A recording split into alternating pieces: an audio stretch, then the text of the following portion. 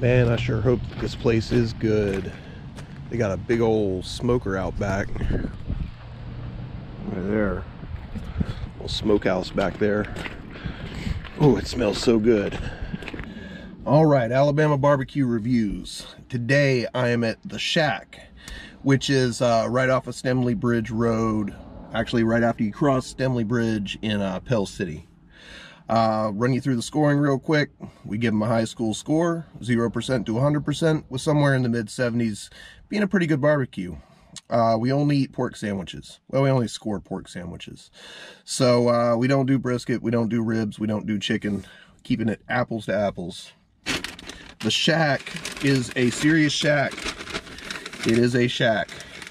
It's an old log cabin with um, a train car attached to it.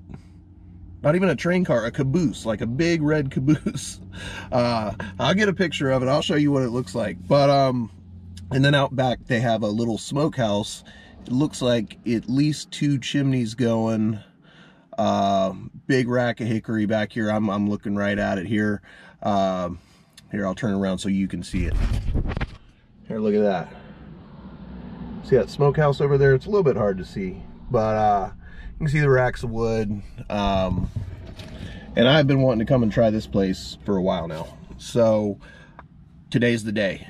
Uh, when they say that this place, when they call it the shack, man, this is a shack. And this is the kind of places that I like. They have all the racing memorabilia on the inside.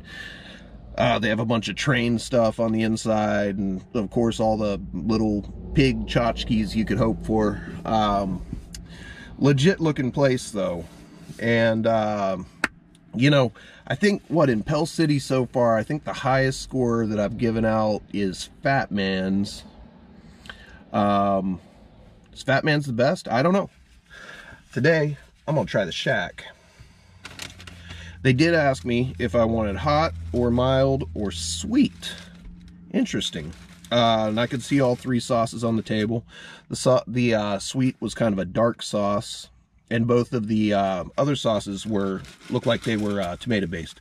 Yep, definitely tomato based. Big sandwich for four dollars. I mean a big sandwich for four dollars. Bun. Oh, look here. Okay. I like the looks of this sandwich. This is going to be a messy sandwich. But have a look here.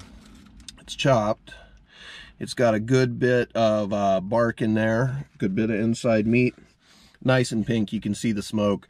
You can't help but smell the smoke. It's it's all over the road up here on Stemley Bridge Road. Uh, and your standard neon green crinkle cut pickles. So let's give this boy a taste. All right, the hot from the shack.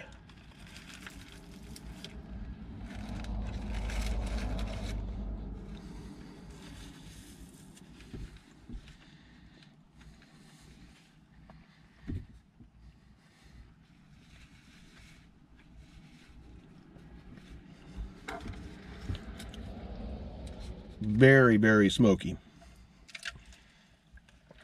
If you don't like a, a, smoky barbecue, you won't like this one. There's a lot of smoke on that meat. Um, and you can see by the by the pink, the smoke ring in there, they put a lot of smoke on this meat. Um,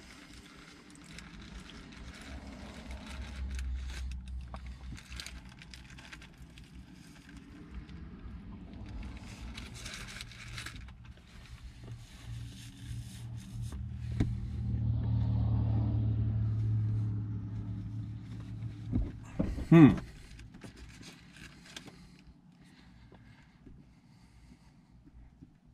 That's a different kind of barbecue. The sauce is not hot, first of all. Uh, I wouldn't say that that sauce is hot at all. Um, it's maybe, maybe a little spicy, but it's not as hot as Tabasco or anything like that. Hmm. Tomato based, it's nice and tangy. Um, complements meat pretty well actually, because there is, like I said, there is a lot of smoke on that meat. Um, very, very smoky sandwich. I got to go one more. I'm just not sure what I think about this one.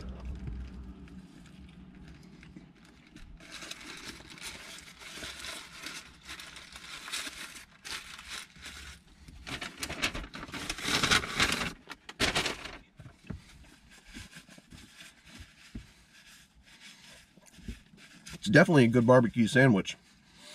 This is my neighborhood, I'd for sure stop in and get a bag of uh, sandwiches for the family. I'm going to put the Shack at a 77. I think that that's a good fair score. Uh, it's a good sandwich. It is a good sandwich. And, um, you know, come out here and try it out. It's an interesting place, if nothing else. I almost felt like I had to stoop over the whole time. The doors seemed kind of low, and I'm not that tall. I mean, I'm only, I'm just under six feet tall, so it's an interesting place. If you're out in this area, you should definitely try it out. But as always, that's just my two cents, and your mileage may vary.